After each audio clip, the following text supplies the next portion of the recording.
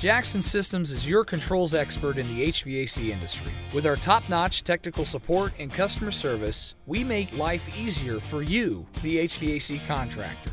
We offer free trainings on any products sold here at Jackson Systems, along with our Filter Fetch program, free thermostat imprinting, home and business automation with connected sensors, cameras, and even smart stats from Nest, Ecobee, Honeywell, White Rodgers, Google, and more.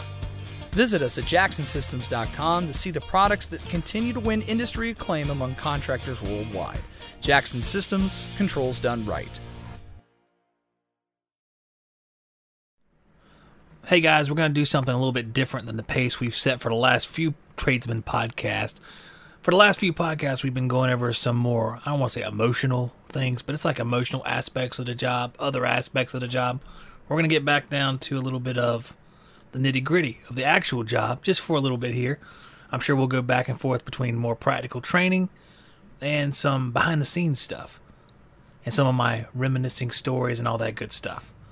So I want to talk about ductwork just a little bit about ductwork and just a couple of the ways that we size ductwork, or I've learned to size ductwork over the years. I mean, you can do it to the nth degree using manual D, friction rate chart. You can figure out what the static on your system is going to be and design a duct system around that. It's pretty cool how accurate you can actually be in advance. You can actually predict your running statics and stuff like that. It's really cool and it's pretty accurate. I found that I get pretty close predicting what the static's going to be at different blower speeds. It's really interesting to be able to do. But on a daily level, you don't really have to do that stuff. I mean, it's great to be able to do it, and one of those things that you should be able to train yourself to do it. But in the end, you just need to know basically what size ductwork you need. And we'll talk residential because a lot of the duct systems aren't going to be extensive enough to have you changing duct size based on total effective length there's going to be some pretty good rules of thumb that are out there for residential ductwork that you can hold to and have a good static and make sure you have enough airflow in the system. Especially nowadays with these communicating systems, inverter drive systems, you want to make sure you have enough air. You don't have fault codes, communication fault codes, and fault codes for low airflow or high static or whatever, depending on the system. I used to get a few fault codes on the Amana communicating systems if the customers used the wrong filters. So they're really sensitive. So let's talk about ductwork. Now, I said before in one of my other, not podcasts, but videos, that we go by a six square inches per thousand BTU rule. Now, I have my phone out here, and I'm going to set up the calculator here. So let's go with a ton and a half. So a ton and a half is 18,000 BTUs. So that's going to be 18 sets of 1,000, basically. So we're going to go 18 times 6, and we get 108. So that's our square inches, rough square inches for our supply ductwork coming out of the unit. So let's see what that is. If we're looking at stock rectangular ductwork, we have by 8 tall. It's 14 by 8 because 14 by 8 gives you 112 square inches. And you can see how that fits together with ton and a half. You probably see similar sizes. Now, if we're going to a round duct, we're going to have to use a different style formula because we have to use pi r squared. What does that mean? Well, pi is a constant and we're going to use 3.14. Pi goes on forever, but we're only going to use the hundredths place, 3.14, because that's, as accurate as we need to be. We probably don't have to be that accurate. So pi r squared, we know what pi is, 3.14. r squared, r is radius. Basically, if you have diameter of a circle, you're going from one point on the circle to the other side directly across, and that's your diameter. Radius is a point from the center of the circle to the outer section of the circle. It's basically half your diameter. So if you have a circle that's 10 inches wide, your radius is 5 inches.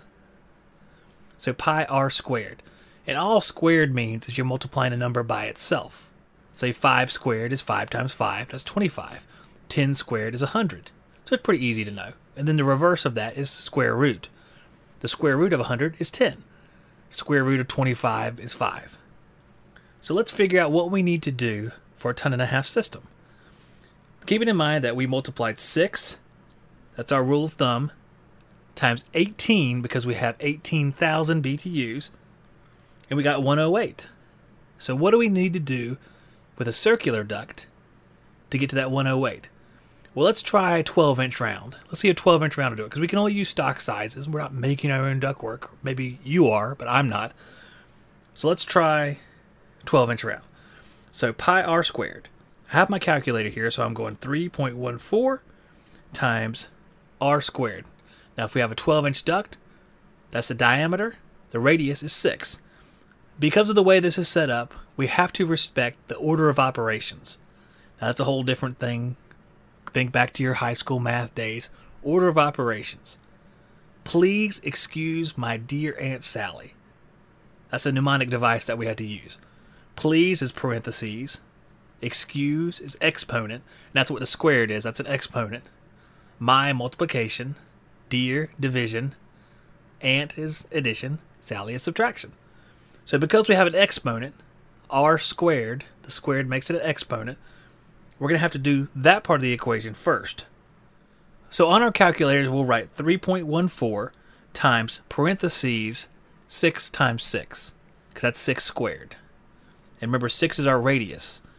That gives us 113 square inches, or just over 113 square inches. That's big enough for our 10.5 system. Now, keeping in mind that on the return side, you may enlarge that to lower the rate of speed in the air. I typically went for round sizes, I'd go up one round size.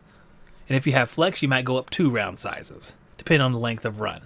But if you have short runs, you can probably go up one round size, meaning you have 12 inch supply duct coming off, and we always used round galvanized piping.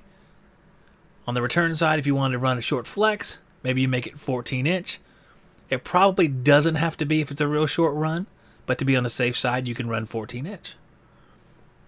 That's not a concrete rule, that's just a tip from being in the field for so long. So let's try something in the 5 ton range. So we have a 5 ton. We did a ton and a half, let's try 5 ton. So 5 tons, we have 6, which is our rule of thumb, times 60, because we have 60,000. So we need 360 square inches. Let's take our 360. We'll see what that comes out as in a by 8 size. 360 divided by 8 equals 45.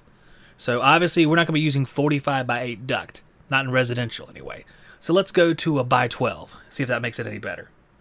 So 360 divided by 12 is 30. So you could use 12 by 30, or if you have room, you can go to a by 14, and that becomes uh, 26, roughly, 26 by 14. Now the question is, what happens with round duct? Because round duct is only available readily up to a certain size. So let's see what happens when we use 20. So we have 20 inch round. We're going to take pi r squared. Remember, we're going to write 3.14. We're going to multiply that. We're going to put parentheses 10 because if our diameter is 20, our radius is 10. We multiply 10 times 10, and we get 314. So it's still a little bit shy on our 5 ton size. You might have to have a plenum and multiple taps to get the proper amount of square inches.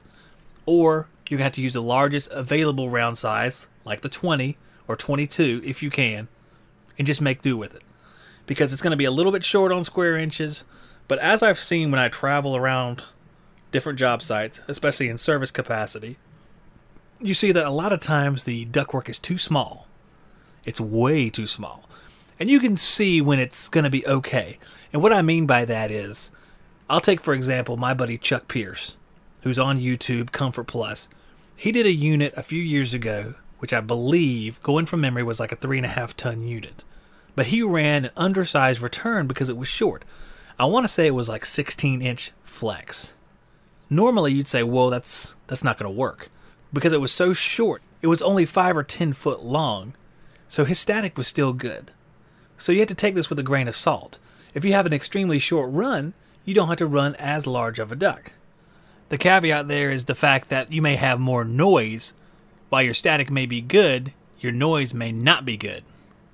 But generally, use these rules of thumb, especially in residential where the ductwork is typically a certain length. It doesn't get very excessive unless you're in like a real grandiose house. We'll study more about this. That's just a tip of the iceberg.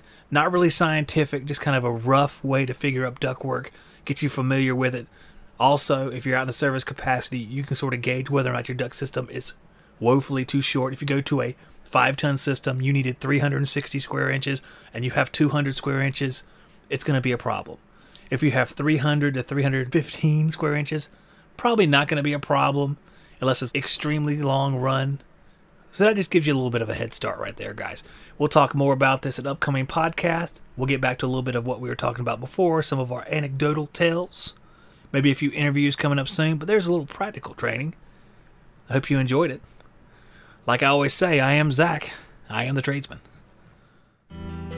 Guys that have listened to us at HVAC Shop Talk for a while have heard us talk about getting a free Zoom Lock toolkit with the purchase of a certain amount of Zoom Lock flame free refrigerant fittings. Well, that's true. If you purchase 350 of the flame free Zoom Lock fittings, you can get a free tool with that. But what you might not know is if you go to the Zoom Lock Roadshow and make that purchase, you can get it for 300 Zoom Lock flame free refrigerant fittings. That's quite a deal, guys. Go to ZoomLockRoadshow.com and find out where that truck's at so you can flag it down and get your ZoomLock tool today.